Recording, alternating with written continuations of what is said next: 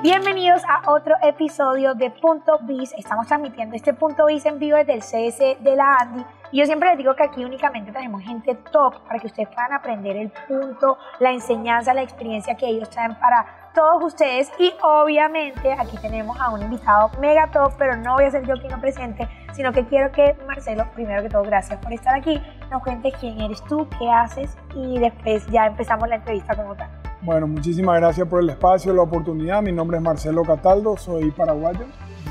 Nunca en mi vida había conocido a nadie de Paraguay. Empecemos por ahí.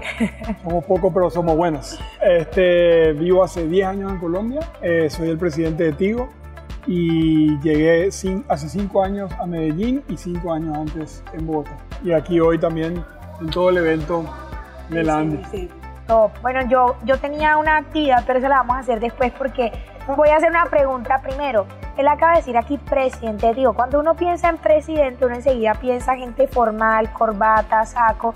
Y aquí estamos viendo a mi querido Marcelo con estos tatuajes. Es top en LinkedIn. Aquí tiene, mejor dicho, audiencia, fanáticos de su post de LinkedIn. Entonces yo quiero que nos cuente un poquito de estos temas de los estereotipos que hay hacia los líderes. Bueno, yo creo que eh, me pasó cuando me, me, promovieron como presidente de Tigo, fui y me compré unos vestidos y creo que lo usé como un par de años. Pero la verdad que ese no era yo. Antes yo era el vicepresidente comercial de Tigo, andaba en moto. En Bogotá era bien difícil, me dan chaqueta de cuero, jeans y me paseaba en moto. Entonces, eh, digamos que en Tigo venimos trabajando en todo un tema de diversidad, equidad e inclusión. Em, y no solamente porque creo que es lo correcto desde el punto de vista humano, cada persona es como es eh, y se merece el derecho de poder expresarse libremente en el peinado, en el piercing, en el tatuaje, en la ropa, en lo que sea. Eh, lo que importa es qué valor le entrega a la compañía. Yo quiero que en la silla del gerente de contabilidad esté el mejor gerente de contabilidad. No me importa su orientación sexual, el color de la piel, su religión, nada. Entonces, venimos trabajando en un programa muy chévere en Tigo de diversidad, equidad e inclusión eh, que tiene cinco frentes de trabajo y que es eh, hecho por el equipo de Tigo. Porque la primera vez que nos reunimos con algunos vicepresidentes dijimos, no, vamos a hacer un programa de diversidad, equidad e inclusión, nos sentamos, discutimos y cuando nos miramos éramos todos heteros, todos gente de alto nivel de la organización, todos con la piel blanca y dijimos, no, pero esto no es diverso. Entonces nuestro programa hoy está incluido por más de 70 personas de Tigo, de la comunidad LGBTIQ+, eh, de afrodescendencia, gente de 70 años, porque nuestro, nuestro desafío antiguo también es de las generaciones. Y eso lo que uno busca en la compañía es eh, una diversidad, porque la diversidad está comprobado en miles de estudios, genera un colectivo de inteligencia superior y por ende se consiguen mejores resultados. Entonces, no solamente porque la gente se lo merece, sino porque eso genera mejores resultados. Y lo que yo siempre le digo a mi equipo, cuando usted va a la calle y golpea la puerta o cuando un cliente entra en la tienda de ti, usted le pregunta su orientación sexual para venderle. No. Claro. Le queremos vender a todos los clientes. ¿Y por qué le queremos vender a todos los clientes y aquí adentro en nuestra casa no podemos ser así? Entonces, por eso venimos trabajando de esa forma. Total, o sea que no es únicamente por, por querer hacer un lugar más diverso y obviamente que eso tiene un peso muy grande, sino que además ayuda a ser mucho más productivos y mucho más eficientes. Eso me encanta. Si tuvieras una varita mágica y pudieras darle una habilidad a tus líderes, ¿cuál sería una habilidad que todo líder debe tener? Yo creo que en el mundo de hoy la capacidad de transformarse. Yo llevo mucho tiempo conversando, dedico, no sé, el 40% de mi tiempo a estar con, con, el equipo de trabajo. Hoy vine a, vine a Cartagena dos días y el, ayer al mediodía fui a una tienda nuestra, almorcé con el equipo, le hice una presentación de los números, cómo estamos en diversidad, en, eh, en Cartagena.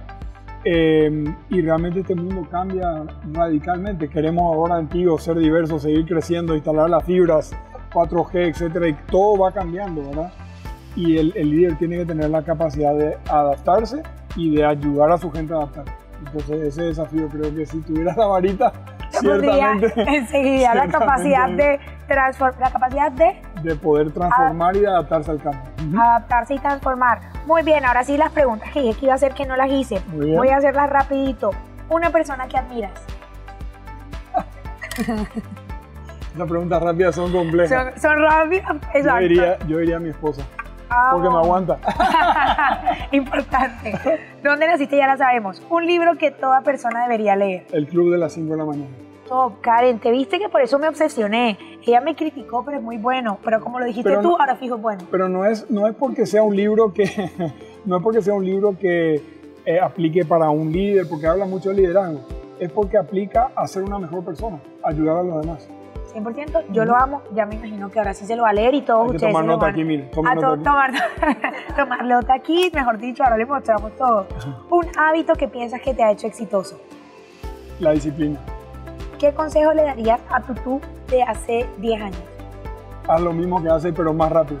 Ok. si tuvieras a Bill Gates enfrente, ¿qué le preguntarías? ¿Qué le preguntaría? Wow. Cuando todo el mundo le dijo que no, ¿de dónde sacó la fuerza para continuar? ¿Eres una persona que trabaja mejor en la mañana o en la noche? En la mañana. Si pudieras viajar al pasado o al futuro, ¿a cuál irías y por qué? Yo creo que al pasado. El futuro eh, nosotros lo podemos inventar, nosotros lo podemos moldear.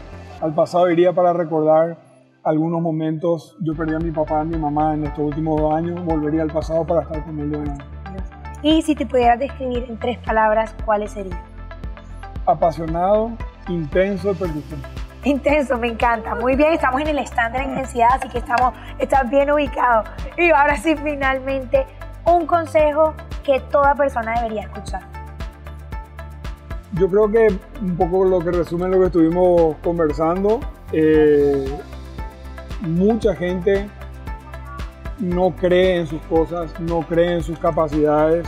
Yo soy paraguayo, Paraguay es un país pequeño.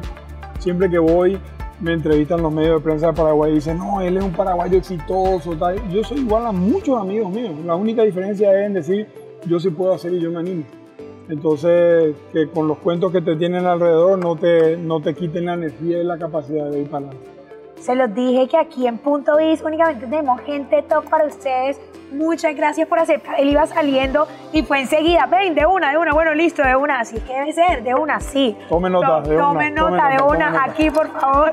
Así que muchas gracias y nos vemos en otro episodio de Punto Biz. Hasta luego. Chao, chao, chao, chao.